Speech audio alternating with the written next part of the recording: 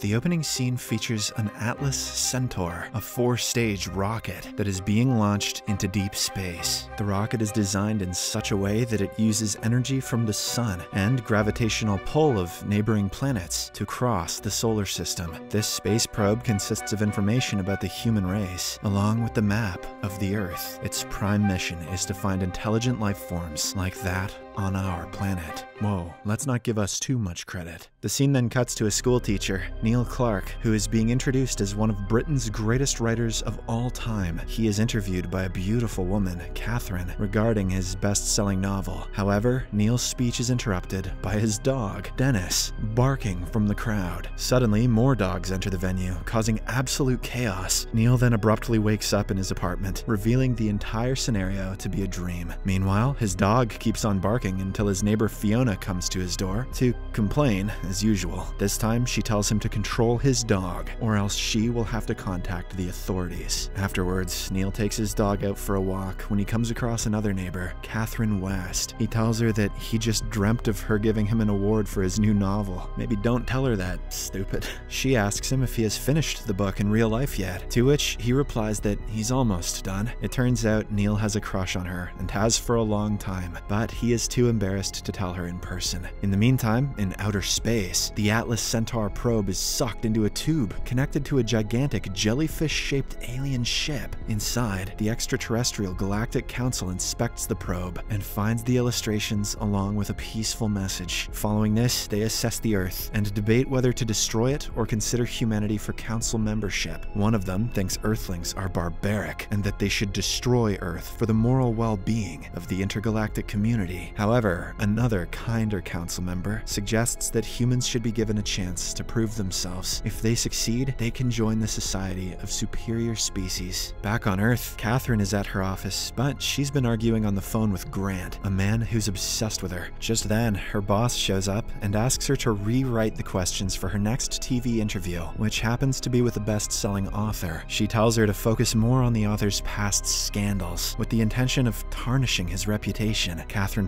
protests, asserting the author's widespread popularity, but her objections are disregarded. Shortly after, she is approached by the show's producer James, who tells her that the audience prefers gossip and character assassination over general interviews. In space, the Galactic Council makes a decision to conduct a test. They'll select a random human and give them limitless power to do absolutely anything. If this chosen individual utilizes these powers for good, humanity will be embraced into the Council. Otherwise, the entire planet will be destroyed destroyed. We're doomed. The council then randomly selects Neil as Earth's representative, granting him 10 days to demonstrate that the planet is worth saving. After this, they transfer the extraordinary powers to Neil, who just fell off his bike due to a van. Unaware of his new power, he curses the van driver, causing the vehicle to go out of control. On the other hand, Catherine meets with her best friend Rosie at a cafe and confides in her about Grant. In response, her friend suggests considering Neil, whom she also thinks is likable. Meanwhile, Neil arrives at school late due to his accident. He tries to slip past the principal's office unnoticed, but is caught. The principal, frustrated by his habitual tardiness, reprimands him and wishes to replace him if he could. Neil then proceeds to his classroom, but he hesitates to enter when he sees his rowdy students. Later on, he has his lunch with his colleague, Ray, who seems to be upset because he's unable to impress his crush, Dorothy. He then asks Neil about one thing he would do if he had unlimited power. Our hero humorously mentions, make his gog regurgitate his notes notes that he swallowed. Unbeknownst to him, Dennis actually throws up the notes that magically become intact. He adds that if he really wanted to improve his life, he'd have alien spaceships destroy the classroom of students that he hates. All of a sudden, they hear a loud explosion. Upon rushing to check, they see that the classroom is indeed destroyed. In the aftermath, Neil returns home and starts talking to Dennis. He says that the incident was just a coincidence because he wouldn't harm anyone if given the power. To prove that he's powerless, he casually orders his dog's mess to clean itself. Much to his surprise, Dennis's poop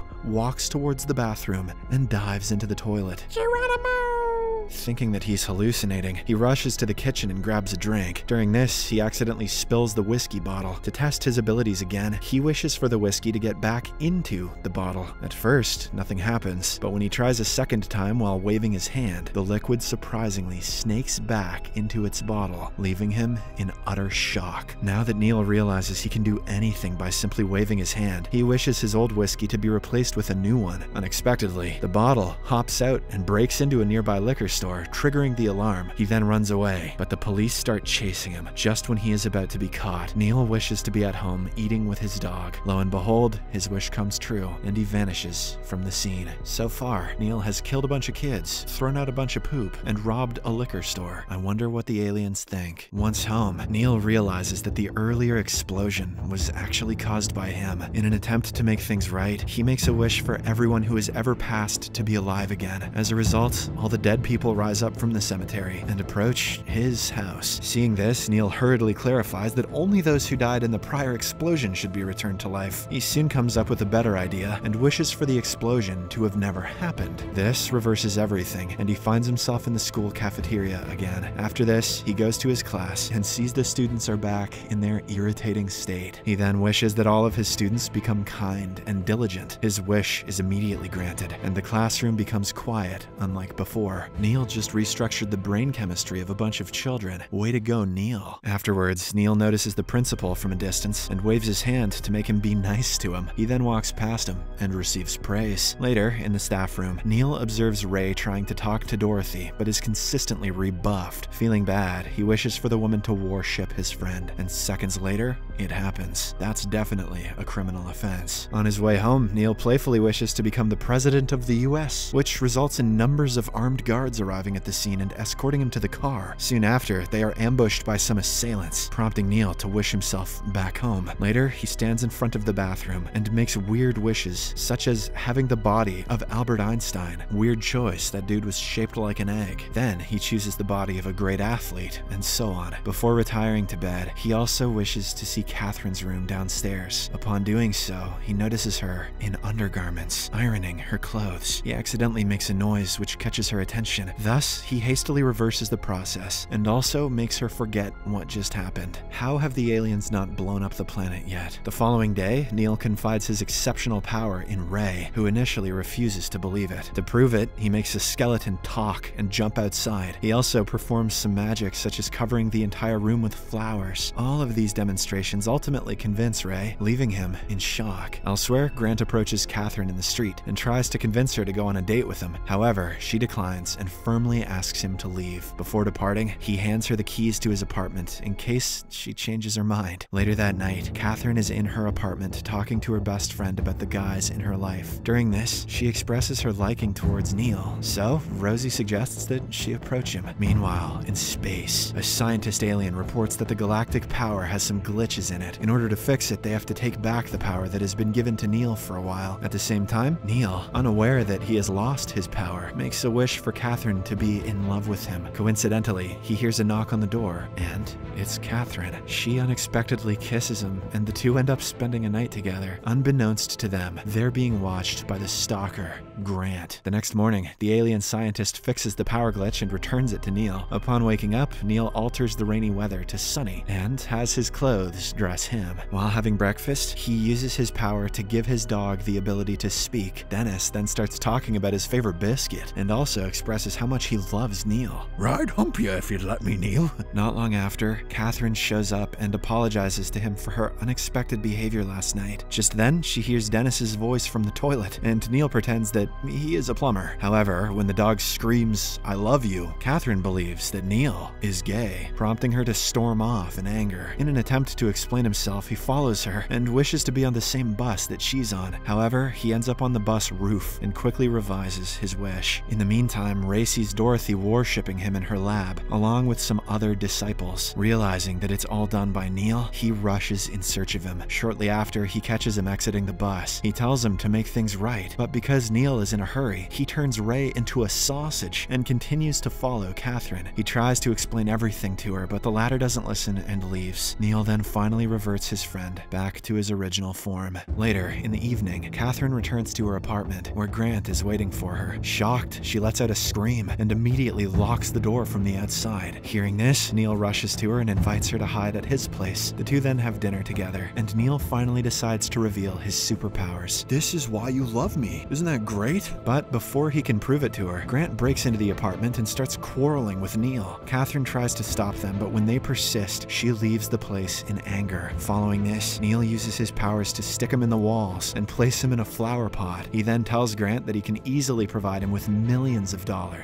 if he's nice, but can also make him disappear with a mere wave of his hand. This revelation leaves Grant in a state of shock. Just then, Neil gets distracted by his dog, and Grant takes the opportunity to knock him down from behind. A while later, he regains his consciousness and finds himself restrained in Grant's apartment. The latter has taken Dennis hostage and threatens him to start fulfilling a list of wishes in front of him. These wishes include providing big ears and webbed feet to all the Englishmen and changing the color of British police's uniform to pink. Grant is a friggin' idiot. On the other hand, Catherine suddenly realizes that Neil might be in danger and returns back to his apartment. There, she finds Ray hiding in a closet from Dorothy's pursuit. The two then head to Grant's house in search of Neil. In the meantime, Grant is now seen dressed up as a high ranking officer covered with medals. A short while after, Catherine and Ray arrive to rescue Neil, who then reverses all of Grant's wishes before turning him into a dog. He also stops Dorothy from worshipping Ray, ultimately bringing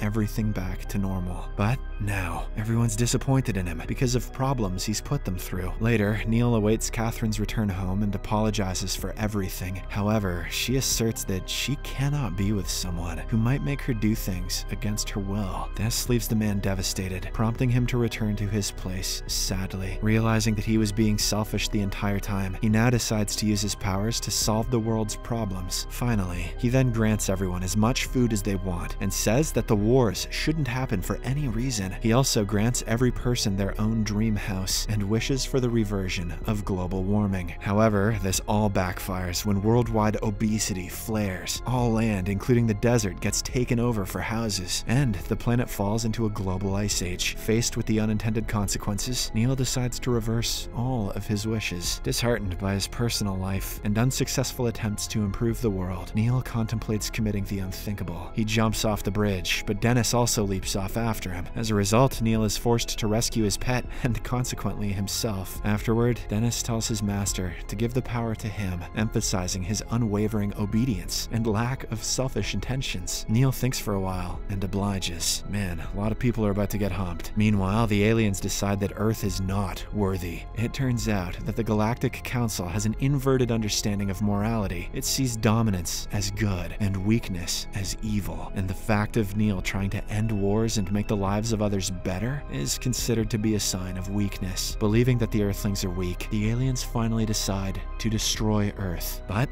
in an unexpected turn of events, Dennis, who now possesses all the power, wishes that the source of power be destroyed. This results in the destruction of the alien spaceship, as well as the associated planets, reverting Neil back to his apartment. The next day, Neil, now without the powers, musters the courage to ask Catherine out for dinner. Much to his elation, she accepts his proposal. On the other hand, it's revealed that Dennis still retains the powers, since he only wished for the source of the power to be destroyed, not the powers themselves. Is the genocide of the alien species really a happy ending? I don't know.